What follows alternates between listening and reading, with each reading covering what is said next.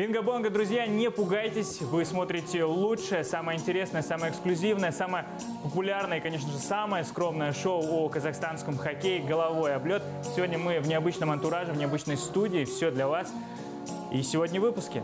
Алтай Торпеда собрал банду головорезов и теперь раздают лещей. В городе появился новый шериф. Только у нас есть эксклюзивные кадры из раздевалки победителей. Кубок Казахстана по хоккею, снятый из космоса, без комментаторов и должной рекламы. Кому нужен этот турнир? А также подведем итоги с нашим экспертом. Чудо-тренер Алексей Фетисов и его тимуровцы вытянули за уши команду и руководство. Серебро Кубка Казахстана у Иртыша.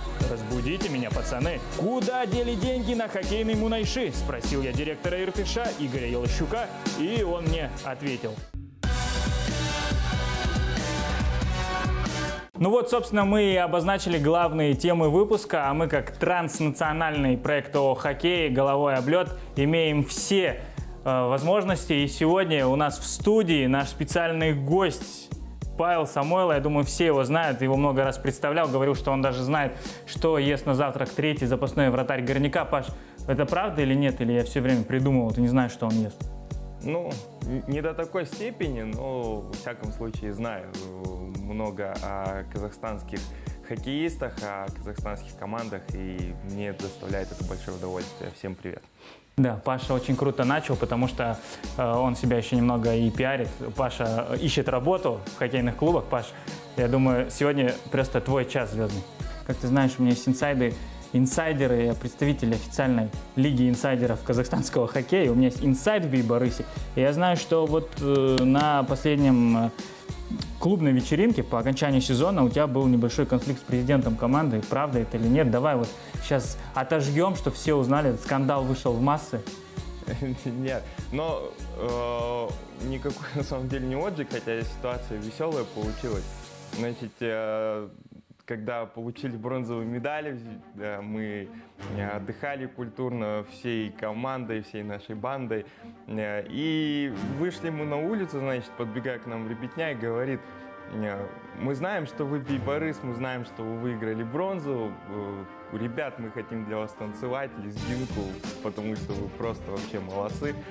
Ну, мы подошли к президенту клуба с моим коллегой и он, значит, говорит, да, кто там хочет танцевать, вышел на улицу, пригласил этого парня в ресторан непосредственно. И потом, когда он взял микрофон, говорит, вот ко мне сейчас подошли наши охранники, и как бы я, и вот попросили нас там, чтобы мы э, дали парню шанс танцевать. Ну, это было действительно забавно. Потом я просто объяснил, что я на самом деле никого не охраняю, а я ответственный за работу пресс-службы. Но это было весело, правда когда пришли в клуб, э, очень много энтузиазма, очень много вот таких вот моментов, да, то есть э, у всех глаза горят, все чего-то хотят, и просто-напросто так получилось, что, э, ну, я вынужден был покинуть команду по определенным обстоятельствам, но э, то, что, насколько я слышал, там большие изменения сейчас произошли, там в плане Ледового дворца, опять же, да, то есть там, ну, как я понял, люди вложили средства для того, чтобы там все стало более-менее скажем так, современно, что ли. Ну, Паш, я тебе тоже приоткрою маленькую тайну. Одна из моих любимых историй. Не, не только тебя спутывали с персоналом клуба, меня тоже здесь в Павлодаре в РТШ. Однажды э, один из функционеров клуба спросил, как бы, получил ли я уже игровую форму или нет. Вот, так что все нормально. Смотри, Паш, ты согласен с утверждением, что это был э, один из лучших кубков Казахстана вообще за последний миллиард лет? Именно по э, содержанию, по игре команд. А, по игре, наверное, да. Почему? Потому что э, команды уже, то есть 50 на 50, да, 50% команд рассматривали это как э, непосредственно э, реальный турнир, где нужно рубиться, где нужно побеждать, где нужно там набирать очки и во что бы то ни стало вести домой кубок.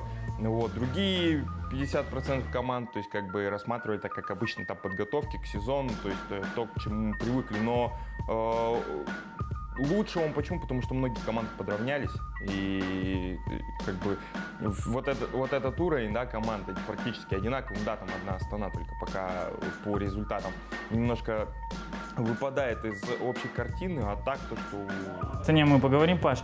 Ты вот оцени, мы как транснациональный холдинг «Головой облет», мы себе можем позволить новую студию. Все-таки мы не какое-нибудь там палестинское телевидение, мы серьезный транснациональный проект, я хочу подчеркнуть. Студия и вот свежие пластиковые фрукты с базара. Можешь брать, угощаться тоже. Все это тут для тебя, для наших гостей.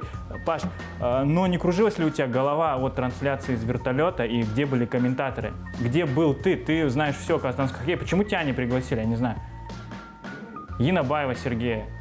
Почему федерация э, в молчании проводит главный турнир лета, один из главных в году? Ну, я думаю, что все, кто следит за чемпионатом Казахстана, действительно кубок ждали, потому что и все соскучились уже по хоккею. Вот, ну, предложений ни я, ни Сергей не получали, не было никаких э, разговоров.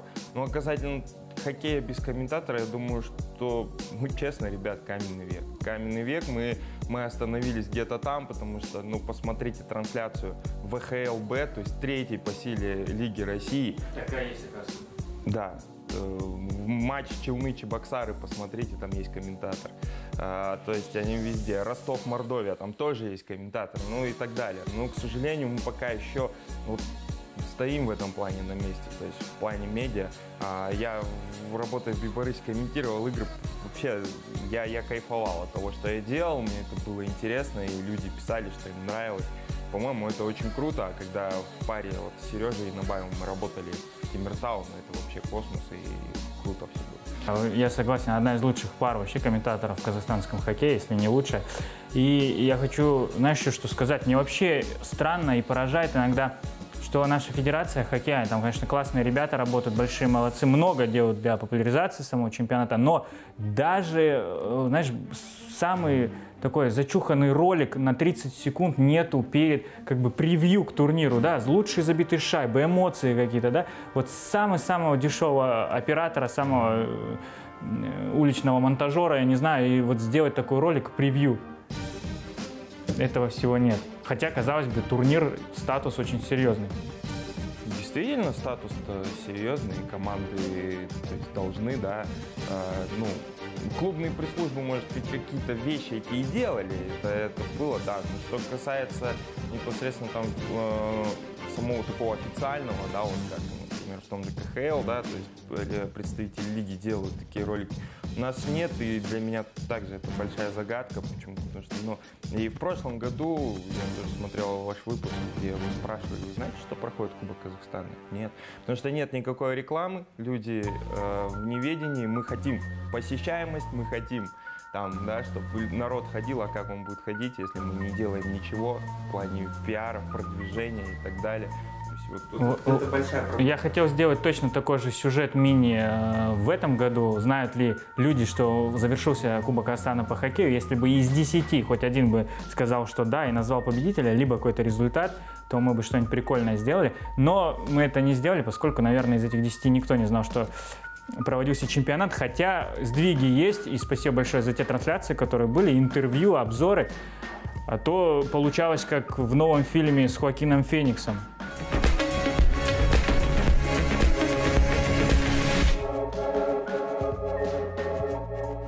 Паш, для начала, как тебе игра Астаны? Давай с Астаны начнем. Э, удивило тебя что-то? И вот специально для тебя мы записали все удачные атаки клуба Астана и все голы вот на эту дискету, потом посмотришь, заберешь. Э, посмотрю обязательно, но думаю, что если вы нарезку делали, то вы должны понять, что ничего, как бы, по большому счету, не изменилось. Вот. Но есть э, селекция, есть селекция в том плане, что э, опытные ребята играют в Астане теперь уже. И, э, и помимо тех молодых местных пацанов, есть еще и Максим Шерифянов, да, есть Нурлан Кабиев, ну, то есть люди уже поигравшие, по большому счету, да, в хороших командах. И э, я от Астаны ждал чего-то интересного. Я, я, я действительно ждал, что они в атаке себя лучше проявят, да. Ну вот. Ну и сейчас они вот скандального вратаря подписали. У них вот вот Фукса я почему-то не, не заметил. Кстати, драку, драку тобой э, Дамир Кираспаева и Артемки Фукса ждал ты? Или ты сразу понял, что сольются пацаны? Нет, нет, нет. Я, я ничего не ждал. Вот. Э, был уверен в том, что драки не состоится. Во-первых, это не нужно было самому Дамиру в первую очередь, а Артемка, может, и готов был, но, но он не дождался своего. А чем скандален вратарь Астаны? Ну, он подозревался в договорных играх в матче сборной Украины. То есть... Наш человек.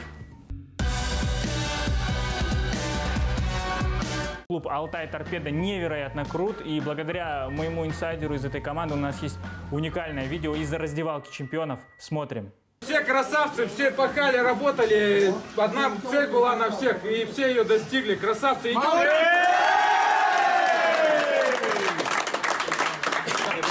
Петь одна, петь одна.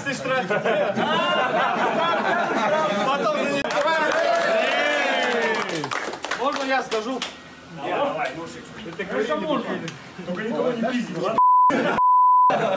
Просто говорю.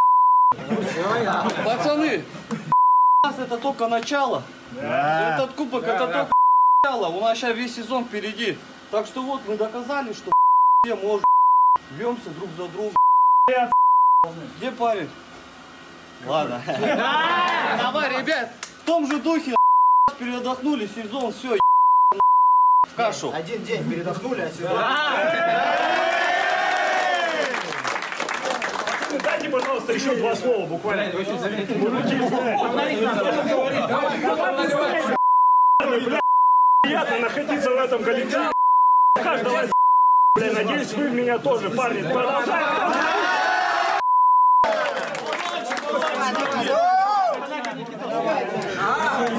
Гена, скажи, Гена! Всеми горжусь, приятно всеми играть. Давай, пацаны,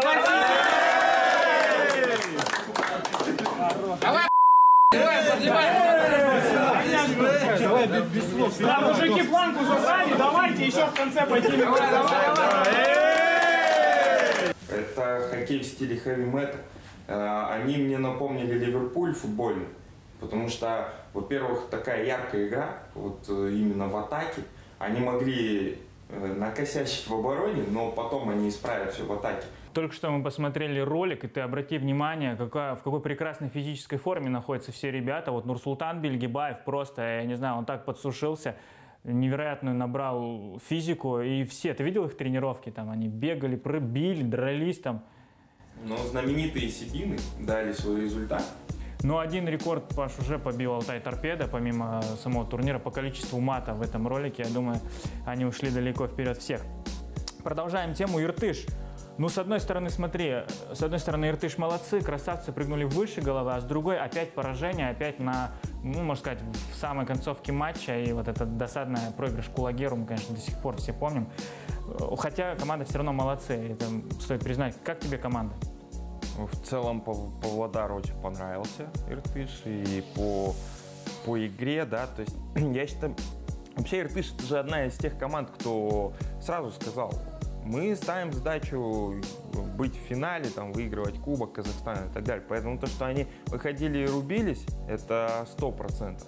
То есть заряжены были, мотивированы они были. Главное разочарование Кубка Казахстана 2018 для тебя кто? Бейбарыс, мой родной любимый Бейбарыс.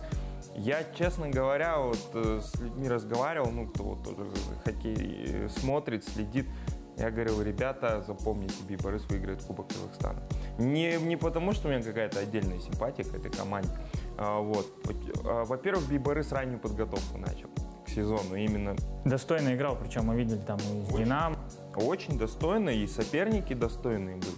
Вот. Но опять же, если вот покупку Казахстана брать, ну, Бибарыс тоже ставил задачу. Да, потому что, ну, заметьте, да, команда в прошлом году в финале играла. И я до сих пор помню эту судейскую ошибку в овертайме, которая стоила тогда, я могу сейчас говорить, нам Кубка Казахстана. Ну, сейчас, да, вот... Кто судья был сразу, чтобы придать острее? Дима, Дима Трофимов, привет большой. Ты знаешь, много очень всего интересного. Спасибо тебе большое. Я думаю, что, кстати, Паш, не забывай, все удачные моменты клуба Астана уместились на эту дискету. Заберешь после эфира, посмотришь. И если вам, дорогой зритель, если тебе понравился сегодняшний наш формат э, с приглашением нашего эксперта, мы будем это практиковать намного чаще. Если понравилось, просто напишите комментарий, убейте пару секунд обязательно. Сейчас после нас супер интересное интервью с рулевым Иртыша Игорем Елущуком. Он расскажет очень много интересного, очень много инсайда. Так что смотрите обязательно. мы сделали смету молодежной хоккейной лиги и э, представили руководству области. И получается так, что те деньги, которые федерация как бы планирует на участие, этих денег не хватает в участии молодежной хоккейной лиги. То есть расходов на порядок больше даже не один, два, три раза, четыре, пять. Раньше у нас была наша группа, вот, где у нас было пять команд, а сейчас они объединили все группы.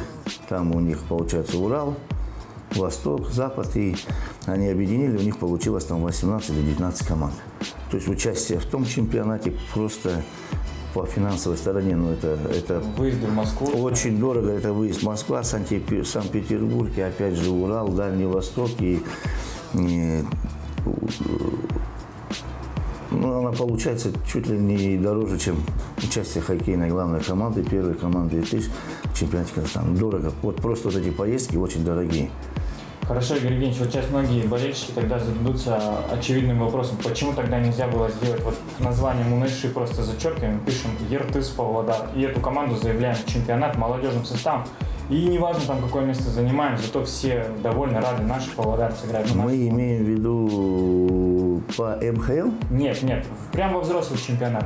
С, с ветеранами там оставляем кого-то там из игроков более опытных, но молодежь прям кидаем в чемпионат.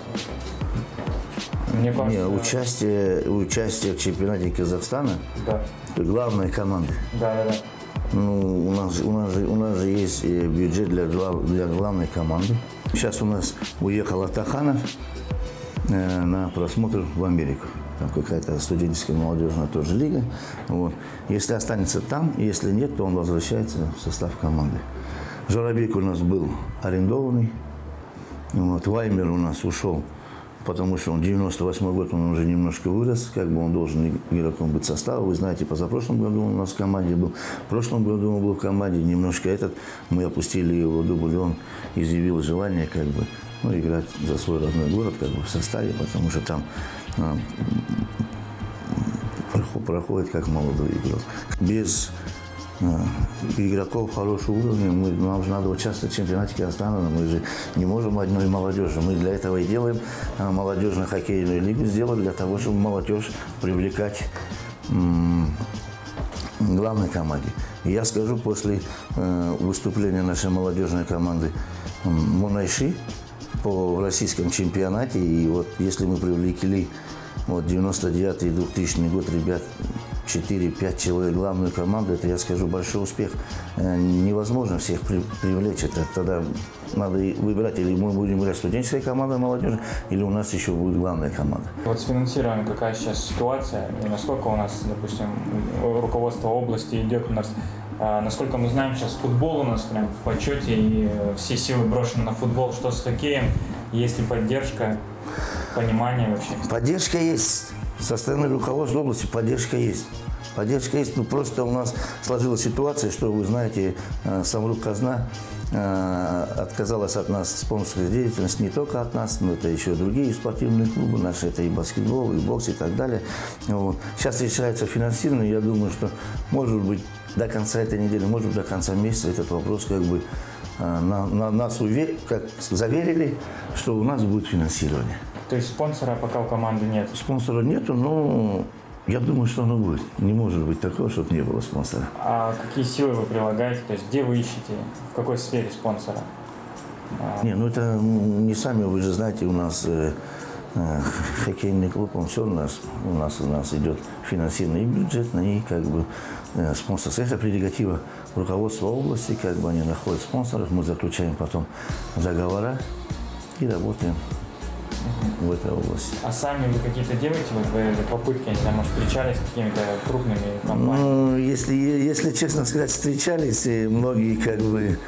э, у некоторых нет возможности, у некоторых они как бы относятся, не все люди у нас, как мы говорим, спортивные, даже у нас велись переговоры с российской одной организацией, серьезной организацией, как бы э, мы даже видели, где они участвовали спонсорами КХЛ, команде с КХЛ, как бы мы обратились тоже туда. Ну, с письмом нам просто сказали, пока не получается, потому что э, по, по причинам, то, что ну, Казахстан другая страна, хоть мы с Россией там в одном таможенном, но это немножко разные э, вещи, которые, как бы, они говорят, если бы играли бы в чемпионате высшей хоккейной лиги, мы там по высшей лиге играли бы, да, то еще, говорит, мы бы как, ну, рассматривали бы, как бы, может быть, и положительная сторона. Сейчас не хочу об этом говорить, потому что, ну, неудобно называть даже э, ту фирму. Мы пытаемся, но, знаете, иногда э, все равно через вышестоящий орган это ну, всегда продуктивнее. Иногда с нами, ну, не, не, не- не на должном уровне разговаривают руководители, которые бы хотели бы вот, э, это, мы говорим даже, ну, и, и- и, банки то же самое. То есть такое спонсорство, это, мы говорим, это не 5 тысяч тенге, не 10 тысяч тенге, это неплохие суммы, не сильно большие, но как бы и немалые суммы, которые тут нужны какие-то гарантии.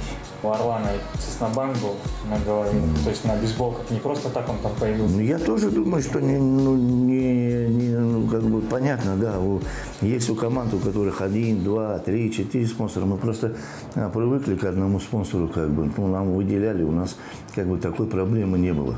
Даже если судить по прошлому году, была задержка, но как бы она реализовалась как бы нормальном русле, а вот в этом году мы с 1 января еще ни, ни одной копейки не получили. То есть, получается, вот если мы смотрим приобретение и как усиливается торпеда Алтай, мы видим, что бюджет у них заметно вырос. Это даже невооруженным глазом видно. Смотрим приобретение Орлана, тоже понимаем, что бюджет на. Смотрим приобретение Иртыша, и вот здесь непонятно, то ли у нас он уменьшился, то ли на том же уровне. Да, я это просто хочу сказать, действительно, оно так и есть. Э, Я сейчас не могу озвучивать цифры, но я просто могу сказать реальные вещи, да, по тем даже самым игрокам, э, которые находились в команде у нас в прошлом году. Это ребята ушли и в Орлан, и ушли в Торпедо с Каменогорск. Орлан изначально уже на протяжении нескольких лет Орлан, Бей, Борис – это те две команды, которых бюджет был практически в два раза больше, чем у нас. Хочу сказать, что на- за последние 5-6 лет у нас бюджет не увеличился ни копейку. У нас как был бюджет 5-6-летней давности, так он и остался до сих пор. И даже если нам эти деньги дадут, и я вам скажу, мы будем даже и этому рады. И Вот, мы уже не говорим там об увеличении, хотя я каждый год прошу а, вот, увеличить на немножко. Вот, но если у Каменогорска сейчас полтора раза больше бюджет, чем у нас, нам тяжело удержать тех игроков, которые у нас были. Орлан тоже. И Вот, Борис как бы тоже, они могут себе позволить игроков. Это не секретная информация, как бы мы рассматривали и э, приход Юлиуса после Нового года. А вот, мы вели переговоры, вот, объяснили ситуацию, как бы с Ваком перегрели, он говорит, я, ну, как бы, для того, чтобы как-то вылезти, говорит, и готов поработать, ну, и вторым тренером вместе с Юлисом, тем более, как бы, отношения остались человеческие, хорошие. Э, Юлиус сказал нам подождать несколько дней, потому что он уже работал э, в румынском, э, венгерском, румынском да, чемпионате, по-моему, да. И потом перезвонил, говорит, мне неудобно, потому что я дал ну, добро президенту. Будут ли у нас легионеры и а, какое место, согласно нашим вообще, на какое место мы Ну, я вам сейчас, довольны? да, я вам сейчас просто скажу, что э, легионеров у нас не будет. То есть мы немножко за вот эти несколько лет, 2-3 года, как бы мы видим, что за наш бюджет хороших легионеров, ну, ну не, просто не получается. Мы перебираем, просто не получается. Вот. Мы сейчас казахстанскими хоккеистами и российскими хоккеистами. У нас даже нет хоккеистов на данный момент в Беларуси. По задачам, задачи определены. Э, Выиграть Кубок Казахстана и сыграть достойно в чемпионате Казахстана уже, э, быть в призах. Одна из первых новостей вот последних дней э, Роман Кривомазов ушел из клуба Иртыш. Человек, который, по-моему, 8 или 9 лет отдал команде. Вот не сошелся он с главным тренером или что там? Нет, он отработал э, все 9 лет, он еще, мы еще вспомним, что он еще участвовал до этого чемпионата, как мы говорим, нового чемпионата. Э, Он был игроком команды, вратарем, потом остался тренером по вратарям. Человек отработал 9 лет, и вот буквально на той неделе э, пришел говорит, Игорь Евгеньевич, ситуация такая. Ну, то есть, э, как я могу тоже еще раз сказать, что, допустим, все увеличивается, все повышается и так далее, и так далее, а заработные платы остаются на одном месте. Он получил предложение хорошее, как бы поработать э, в российском клубе, чемпионате и так далее. Как бы мы не стали препятствовать этому, потому что мы считаем, что ну, человек и так хорошо отработал, нормально отработал, как бы, и результаты мы видим, что э, наш, ну, можем сказать, что да, он уж Каменогорский, но наш воспитанник, где он стал и чемпионом Казахстана, это Дима Мальгин. Мы можем сказать, что это его ученик, которому дал, как бы, понятно, воспитали его другие люди, но вот здесь именно в команде дать э, вот эту мощь, энергию и дух, что он будет лучшим вратарем в Казахстане. Вот он сейчас играет в Борисе. А, что ты имеешь в виду? Давай по 17 А, У нас в заявке сейчас 4 голкипера, и я почему-то на тренировке не увидел Георгия Гелашвили. Он здесь, он в городе? Да, Георгий вообще нет его не в городе, но он, он уехал сейчас на несколько дней, но он уже, уже, уже сегодня или завтра приедет. Он у нас сейчас восстанавливает гражданство Казахстана. Вот он поехал там кое-какие документы взять, кое-что переоформить, как бы, и вот он сейчас у нас будет полно- полноправным, он был уже жителем Казахстана, у него было гражданство, потом он отказался, принял российский, сейчас от российского отказывается и будет принимать гражданство Казахстана. Ну, это, наверное, самый высокооплачиваемый игрок в этом составе. Ну, мы сейчас, я вам просто хочу сказать, что э, это, ну, мы не имеем права, как бы, говорить, ну, один, один из, как бы, ну, он более опытных. Скажу, я не скажу, что он супероплачиваемый игрок, да, но отнесся к этому, как бы мы сказали, что мы не можем очень ну, много денег платить, мы так говорим, как может быть. Но он согласился, как бы принял решение, приехал, посмотрел, все оценил, как бы здраво. И с семьей они приняли решение как бы о принятии гражданства Казахстана. У Иртыша сейчас нет капитана. Денис Кимишов э, ушел в Орлан. Вот ваша точка зрения все-таки, почему он сделал такой выбор? Это карьерный рост, э, финансовая сторона или что-то не устраивало? Ну, по Денису это как бы мы говорим, это тоже игрок, который отыграл не один десяток лет уже, мы говорим, больше 10 лет в этой команде. Он с юношества пришел сюда, отыграл. Ну, есть в жизни такие моменты, это, это не только его пример, это многих примеров. Мы говорим, что люди, которые играли ну, уже э, много лет в одной команде и потом уходят. Здесь немножко сыграло, я так понял, что, может быть, он хотел уже э, не говорю, что он завершает карьеру, у него еще здоровье, у него еще годы не те, чтобы завершать, он еще будет играть и играть. Но хоккейный век короткий. Финансирование, которое хотел бы он иметь, мы ему не, ну, как бы не, не могли, как бы, мы сидели, разговаривали, я говорю, «Ну, я могу еще добавить там, где-то убрать там с этого, добавить это, ну, 10, 15, 20 процентов, это, может быть, его и не устроило, как бы, я говорю, думайте, смотрите, Момент, который, о котором нельзя не сказать, вы сами заметили, очень упал интерес к хоккею в Павлодарской области. Это прям, ну, колоссально упал. Э, Судя не только по пустым трибунам на матчах с Орланом, вообще такого никогда не было. Если 7-8 лет тому назад, 6 лет тому назад действительно у нас играли легионеры, были хорошие команды во всех клубах. Если вспомнить, э, у нас действительно равные команды были. У нас за исключением Московиногорск, потому что вторым составом играл, как бы они сейчас пересмотрели по-другому. А у нас 5-6 команд, у нас играли везде легионеры. И народ ходил на, ну, на, на- на- них. У нас немножко был другой. Я не хочу сказать, что у нас сейчас уровень упал хоккея. Нет, играли другие игроки. И уровень того хоккея был на том уровне, которым он был. То есть во всех командах играли легионеры, и они между собой, как бы, между собой они больше, как бы, ну, вот, и народ собирался. Сейчас э, уровень не упал, но игроки играют такого уровня, понимаете? Поэтому, может быть, трибуны ушли. Я вам просто хочу сказать, что Бейборис был полный, стадион всегда, сейчас заполняется наполовину.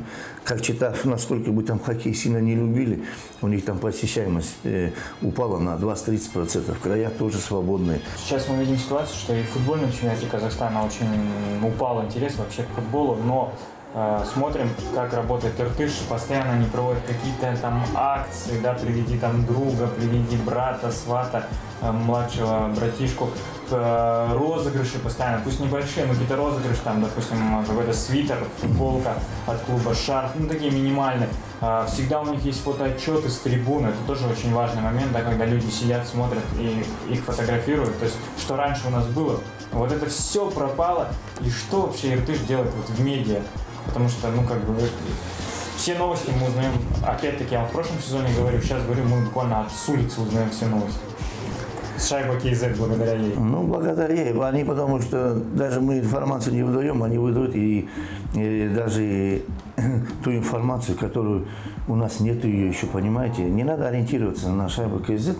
Если и лучше прийти у меня узнать а, из первых уст. Или прийти к пресс-атташе узнать с первых уст. А шайба КЗ, они тоже стопроцентной информацией не владеют. Они владеют с сайтов. Вот, если у нас сайт не работал, если мы сейчас его делаем, переделаем, это на это надо время, то мы и не могли работать, понимаете? На все нужно время. Если, вот, допустим, вы говорите там медиа и так далее, и так далее, то э, не- ну, ну, нельзя равняться только на одном. У них штат просто-напросто в пять раз больше, чем здесь. Просто штат больше, ты пять раз больше. А футбольного Иртыша. Да. Я вам просто говорю, есть э, клубы, которые ну, на одном медиа только сидят по 2-3 человека.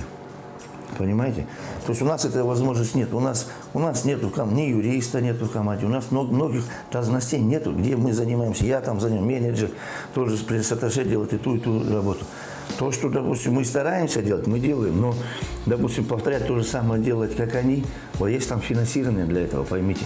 Здесь финансирования нету, мы не можем даже по спонсорам то, то, то, то сделать, понимаете, то, что нам нужно, нам не пропускают. Ну, Есть моменты, конечно, мы в этом, в этом мы виноваты, но я вам просто в основном всегда идет от финансирования. Вот финанс- Если у меня с Нового года нету ни копейки денег, а по бюджету мы не можем это пропустить, и здесь денег нету, я, я не могу ничего сделать. Мы не можем ничего сделать, поймите. Бесплатно нам, мы- я вам просто скажу, мы за газеты, мы там, там, мы, мы во многих местах очень много денег должны. Это долги наши, которые мы должны э, по спонсорским э, деньгам, как бы вот это. Этого денег нет, мы никому не жалуемся, мы никому не говорим. Мы просто ждем и с людьми общаемся. а большой долг у Иртыша? Большой долг. Я имею в виду по таким, которые ну, люди ждут. По игрокам, по зарплате. По игрокам, по э, персоналу, по этих э, долгов нет у нас. Ну, вспомните времена, я просто всегда привожу пример, тоже от заинтересованности зависит. Вспомните, э, вот с хорошим словом сейчас вспомним Людмилу Гегер, да, она там, я не помню, не знаю, сколько у нее была, но она говорила, что там в районе что-то 30 тысяч у нее была зарплата, она делала фотоотчеты, делала, ну, всевозможные моменты, вела группы во всех социальных сетях, ну, то есть прям жила хоккеем. Вот такие фанаты к вам приходят вообще или нет? Такие фанаты вот прям, которые горят. Давно ли вы вообще встречали вот фанатов, которые вот приходили к вам и говорили, Игорь Евгеньевич, возьмите меня на работу, буду работать бесплатно, делать там. Не, вот а, пару ребят приходило как бы по, э, как его, по трансляции и так далее. Я им сказал, давайте так, ребята, у нас осталось несколько туров. Получится у нас не получится, как бы, а начнется новый сезон, давайте будем приходить. Как бы еще несколько человек как бы звонило. Я говорю, давайте сейчас новый сезон будет начинаться, мы э, проведем тесты с вами, как бы посмотрим, что вы предлагаете, и выберем как бы лучше. Я бы хотел бы, опять же, Савенкова Костю видеть. Мы с ним разговор, разговаривали. Я Бурделеева хотел его видеть, как бы, как бы. Я бы не против был бы. И Миша Рахманова по отношению, как бы, у нас нормальные отношения. Вот. Ну, там чисто финансово, да? Да, чит, я бы хотел бы, я бы и в прошлом году раздал, я бы хотел бы Лакизу видеть бы, допустим, да, я хотел бы с Намада несколько человек видеть бы, я бы хотел бы, чтобы и, допустим, тот же Дима Мальгин играл бы здесь, но это желание и хотение это одно, а люди играют в других клубах. Вот таким получился 72-й, страшно вдуматься, выпуск проекта «Головой облет». Вот аккаунты, наши номера телефонов. Если у вас есть интересные предложения по рекламе, по сотрудничеству, обязательно пишите. Мы их рассмотрим, спишемся с вами, созвонимся. А, Не забывайте ставить лайки в нашей официальной группе ВКонтакте webcom showgoal на YouTube-канале. Мы вас очень любим, спасибо, что вы нас смотрите. И увидимся.